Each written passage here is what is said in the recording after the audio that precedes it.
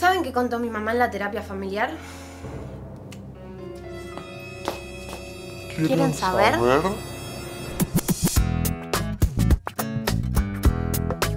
Contó que no tienen sexo. Que ella y mi papá no tienen sexo. ¡Ay, mamá! Cayó. No, no se cayó. Yo por dentro decía, no, mamá, por favor, no cuentes más, por favor. No hay sexo. Pero no, mami, no cuentes todo. Pero no solo nosotros, ¿eh? Nadie de nadie de nadie en esta casa tiene sexo.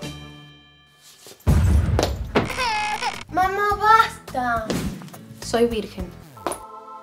No lo sabe nadie. Estoy por cumplir 20 años y soy virgen. Lara, ¿por qué nunca tuviste sexo? Si ya casi tenés 20 años y un novio estable. ¿El sexo es un problema para vos? No, no, para nada. Entonces, ¿tenés miedo? No. Si fuera por mí, lo haría ya. Entonces, ¿por qué crees que nunca antes tuviste sexo? Porque esto es un quilombo. No hay privacidad de ningún tipo. Si no son mis viejos, es mi abuela. Mi tía, pensé que me podía vangar, tampoco. Encima estás amiga nueva Fabián ahora. ¿Y esto de compartir cuarto con mi hermana menor? Ay, Nola. Ay, perdón. ¿Escuchaste recién lo que estaba pasando? No, por... Mamá y papá están garchando, boluda, qué asco. Ya me conoces. Escribime.